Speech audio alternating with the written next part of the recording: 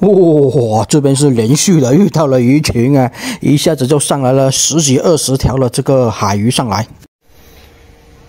Hello，大家好，我是老打那个。本来挺晴朗的，怎么感觉现在突然是有点小风过来了？准备拉今天的第二个网啊，第一个网的收获也算是还可以的，也是网友花五千块钱承包渔网的第二个网，总共是四个网啊。第一个网是既有大货，而且还有石斑鱼上来呢。刚拉上来就有鱼货，刚开始就来了两条香头了，加急也来一条啊。效率还是挺不错的。上一个网是捕到了差不多五十斤的鱼货上来，如果四个网都有五十斤的话，那差不多加在一起就有个两百斤左右的鱼货。黄鸡一条啊，两百斤的鱼货的话，平均一斤是二十五块钱，也就只有这样子差不多才能值到五千块钱啊，要不然都不够。这里还来了一条大柠檬啊！上一个网是总共才来一条柠檬鱼，然而这一个网就连续来两条啊！这已经是这一个网的第二条柠檬鱼了。这种野生大柠檬价格还不错啊，一斤可以卖到三十块钱左右，比那些近海的小柠檬要好卖一些呢。来了一条斑马鱼啊，也算是观赏鱼的一种。这种鱼可以吃啊，只是肉不多而已。再来两条柠檬啊！上一个网捕不到的柠檬鱼，这一个网倒是连续来了好几条了。这两条加在一起，这是第四条了。柠檬鱼是没有鱼鳞的，不管清蒸、红烧、香煎都是挺不错的。不过我们最喜欢的做法是拿去煮酸梅啊，感觉现在捕到这些鱼还挺肥的。不过这一个季节正当季的海鱼是雕科类啊。等一下，看这个网会不会来一些真鲷、黑鲷、黄鲷什么的吧。加吉其实也是属于雕刻类的，学名是叫做二长棘鲷，但是夏天的数量会比较多。现在这个季节的加吉就少很多了，平均都是四五条一斤的规格。长得最大的一条大概也就是七八两吧，跟真鲷不一样，长不到非常大条。价格也是比较便宜啊，一斤大概也就是二三十块钱，跟真鲷没法比啊。真鲷好卖的时候，一斤可以卖到六七十块钱呢。再来一条香头，这一个网的第三条香头了。香头啊，学名叫做平头雕，也是雕壳类。不过就是香头也是便宜一点啊，好卖的一斤三十几块钱，小条一点的一斤二十几块钱，七八两以上就可以卖到三十块了。而且雕刻类的季节，香头也是有份的。而且香头也是比较喜欢成群结队的活动，看能不能遇到香头鱼群吧。我记得前面几次出来外海，有一次遇到了。上一次遇到的时候，一下子就遇到了十几条的这个香头上来。还是来多一点鱼群的好吧，这样子承包渔网的这个网友才会高兴一点嘛。再来两条香头。虽然是别人承包的渔网啊，但是我也希望能大丰收的，毕竟也是大家好才是真的好嘛。有个十来斤鱼货了，这一个网虽然没有什么特别值钱的鱼货，但是效率是真心还不错。三个号的渔网，每个号都有个十来斤，也是有个四十几斤的渔获。然后其他的两号网多来几斤渔获就能凑够五十斤了。或者像上一个网那样子来一条七八斤的大货也行啊，而且这才是网友承包的第二个网而已，后面还有两个网呢，或许后面的两个网能来一些值钱货呢。大海茫茫啊，这种东西都是说不定的。又来了两条香头啊，这一个网的香头倒是挺多的，看来香头都躲到这一个网的这个位置过来游动了。上一个网就没有遇到几条香头啊。这一个网就多一点了，这一个网的加急也不多，也就上来了几条而已。渔获还是比较平静的，几条加急，几条香头，几条这个黄鸡，还有几条小剥皮鱼，几条泥猛啊，种类倒是挺多的啊。先把这些渔获给装起来，然后拿去冰箱那边保鲜先。装完再继续拉网啊，这个不用急。这一下子连续来了七八条的这个香头上来哦，刚开始的时候还说会不会有相头的鱼群过来，这下子鱼群不就过来了吗？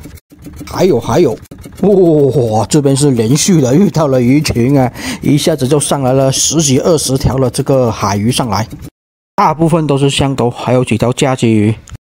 要不然说网友的运气好啊，我自己补的时候怎么就没有遇到这样的情况？这一群鱼群上来至少都要接近十斤了吧？那估计这一个网五十斤也已经是妥妥的吧。虽然香头不是特别的值钱呐，也不网啊，但价值也是超过了这个平均线的二十五块钱。黄鸡再来一条，这号网又十来斤了。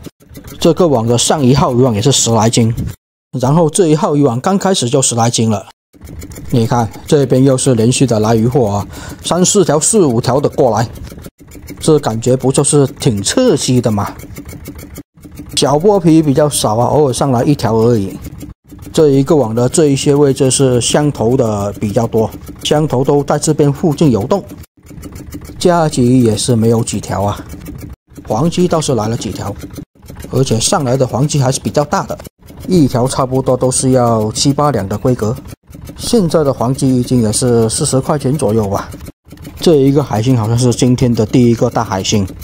不过海星我们最讨厌，还是不要来的好啊！来多几条香头都海过来个大海星啊，又难解除网的。今天的这些香头感觉个头也不小啊，平均一条也都是半斤左右，大一些的七八两，最大的估计能达到一斤多一点吧。你看来的全是香头啊，根本忙不过来啊，一直都是在解鱼的。网格河豚也叫做香豚，长着一个塑料外壳啊，也不能吃。依然还是来这个香头啊。雕刻类的季节，你不能只来一种雕刻类嘛？真雕、黑雕什么的，不应该也来一些吗？雕刻类的季节就是比较肥，你看这条肚子圆鼓鼓的，特别肥。这一条差不多也就要七八两了，半斤左右的就比较多。清蒸一下就挺好吃的，喜欢吃香一点就香煎一下，拿来煮汤的味道也是挺鲜甜的。到目前为止收获还算是可以的，这一个号的渔网已经是直冲二十斤了，差不多搞个二十来斤应该差不多。这个号二十来斤，其他两个号的渔网加在一起三十斤的话，总共五十几斤的收获，也算是完成这一个网的任务了吧。这样子又在总体鱼货上增添了一大笔，真的感觉是这个网友的运气比较好啊！轮到他包网就来了这么多的鱼货，十几二十斤差不多吧。才刚说讨厌上这种大海星啊，你看这边又来了一个，就不能不要来大海星了吗？像这种硬壳的大海星是不能吃的，没有肉的。有人说这种大海星能拿去泡酒啊，但是我感觉也没啥用吧。礁石区的位置始终还是会有一点野花上来的，差不多这一个号的渔网也是快要拉完了，始终是刚开始的时候遇到鱼群收来的鱼货比较多，后面收来的鱼货就少一点了。火点鱼来一条啊，这条火点鱼还挺大条的，黑心笛雕。软丝墨鱼大尾游也来一个啊，这个运气。这个软丝墨鱼还挺大个的，应该要一斤多，接近两斤了。二十斤左右的鱼货已经是有了。十六枚也来了一条抽子闹哦。上一共是来个小墨斗啊，这个网确实来个软丝墨鱼，两种都是软体海鲜呐。味道上来说，应该是软丝墨鱼好吃一点的。价格上来说，也是软丝墨鱼比较贵一点啊。一斤可以卖到五六十块钱，而那种小墨斗一斤最多也就是三四十块钱而已啊。好了，同样把这一个号渔网的鱼货给装起来先，拿去冰箱那边保鲜啊。二十斤多一点的鱼货是有的啊，感觉是特别的重。然后现在就是拉这一个网的最后一个号渔网了。好的，这边先上来一条黄鸡哟，黄鸡还挺不错啊。像这么大条的黄鸡，一斤差不多要四十块钱有的啊。像这一种黄鲫拿来吃刺身，味道也是挺不错的。泥猛鱼，泥猛鱼，这一个网倒是来了好几条泥猛鱼。上一个网一千五百米的渔网也才上了一条啊，这一个网就来了好几条了。泥猛鱼好像也可以吃吃身。今天捕到的剥皮就比较少的，毕竟旺季过去了。上一个网也是没有捕到几斤小剥皮啊，这一个网上了几条而已。小剥皮也是没有涨价，上一次活着卖鱼排一斤七十五，但也是要活着才有这个价格啊，价格还是挺不错的。不过要这种原生的黑剥皮才有这一个价格啊，其他品种的剥皮就不怎么值钱了。而且活着跟挂掉了价格也都是不一样的，也并不是所有的小剥皮都可以叫做原生剥皮。我们潮汕人把这一种剥皮称为原底鱼，有的地方叫做主宰鱼，但是并不是这一种鱼啊。再来两条泥猛鱼啊，外海野生大泥猛，两三条一斤，而且今天这些泥猛鱼还是挺肥的哦。是不是因为天气一冷，泥猛鱼就开始出来活动了呀？数量也开始变多了。泥猛鱼有的地方喜欢拿去煮汤啊。不过泥猛鱼是吃海藻长大的，所以肚子比较容易发酵，肚子会有股小味道啊，所以也叫做臭肚鱼。呵，这里倒是连续来了三条小剥皮鱼哦。这一个网不是放在小岛的旁边啊。这一个网放的位置是两座小岛的中间呐，位置是不一样的。泥猛鱼跟小剥皮比较多了，这样子每个号多的鱼种也都不一样。前面来了两条黄鸡，这边又是来两条香头，感觉黄鸡要比香头要好吃一点。同样大小，同样都是用来清蒸的情况下。黄鸡的肉质会比香头要紧实一点，而且黄鸡有股特殊的鱼香味，吃起来挺香的。而且黄鸡更适合红烧。个人感觉吧，我就是比较喜欢吃黄鸡多一点。不过也有人觉得香头比较好吃，而且香头价格比较便宜一点。连续的来了好几条黄鸡哦，这一个号的香头就少一点啊，黄鸡都比香头多。黄鸡、泥猛鱼跟小剥皮比较多，这个网现在差不多也是十斤左右的鱼货了。这个网大概剩下两三片渔网，拉网的话大概也是十来斤左右的鱼货，应该也是有的吧。来多一条大货就能解决任务了。